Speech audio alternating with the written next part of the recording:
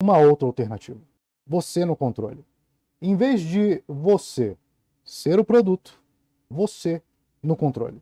Em vez de delegar a sua segurança às Big Techs, você pode ser o responsável por ela, agora mesmo. Aprender a usar, aprender a como usar, configurar e melhorar a sua segurança no seu aparelho, seja no seu computador ou no seu smartphone. Aprender a navegar na internet de forma segura e estratégica, como eu aprendi e como vários outros alunos meus, como vários outros indivíduos ao meu redor aprenderam. Aprender a como usar as ferramentas tecnológicas ao seu favor. Programas e aplicativos de código aberto, substituindo tranquilamente. São alternativas que substituem tranquilamente as que você usa. São alternativas mais seguras, de código aberto, transparentes e muito mais seguras, que não precisa coletar seus dados, porque elas não têm uma estrutura gigante por trás, escritório e milhares de funcionários para poder pagar, não tem uma folha de pagamento extensa, não tem infraestrutura, nada. São indivíduos que ajudam outros indivíduos e que se satisfazem com isso. Então eles não precisam ganhar dinheiro coletando dados, sendo que eles não ganham dinheiro através disso. Ou seja, você, no controle, é aprender a criar e manter hábitos de navegação seguro. Além de usar alternativas mais seguras e privadas, é você aprender a usá-las. Porque, como eu disse lá, lá no início, quando eu estava contando a minha história, não adianta você usar essas alternativas seguras e privadas, não saber usá-las com estratégia, achar que apenas apertar botão é o suficiente. E uma vez que você é capaz de proteger, de se proteger na internet, de se proteger das principais ameaças no meio digital e se tornar o protagonista, esse é o nome, o protagonista e guardião da sua própria segurança e privacidade, eu te faço uma pergunta. Qual será mesmo a utilidade da Google, da Apple e Microsoft para você? Uma vez que você está no controle, qual será a utilidade dessas aplicações, desses sistemas?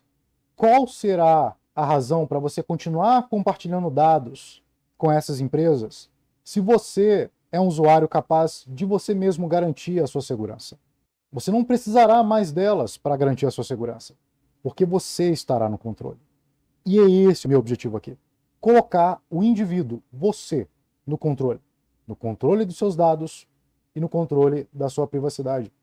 As alternativas open source seguras e privadas são assim porque os desenvolvedores e mantenedores dessas aplicações e sistemas não lucram com dados.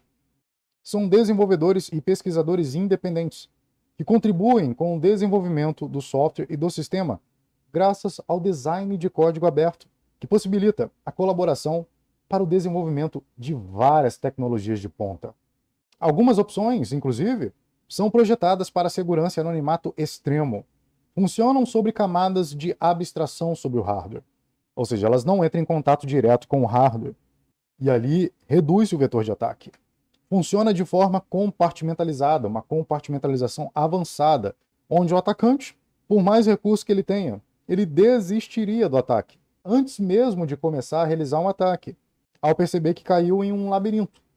Mas são soluções muito, muito complexas, em especial para quem está começando agora e só devem ser usadas se você tem um modelo de ameaça complicado ou lida com conteúdo extremamente sensível, valioso ou confidencial.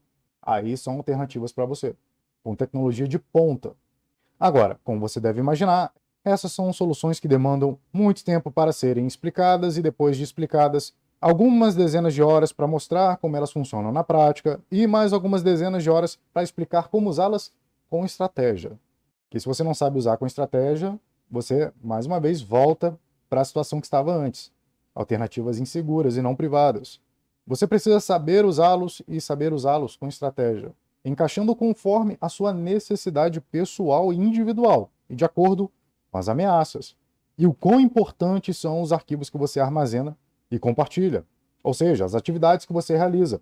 E aí, na aula 2, eu mostrei a lista de atividades importantes que você precisa se preocupar, ofuscar, compartimentar e guardar, armazenar com segurança.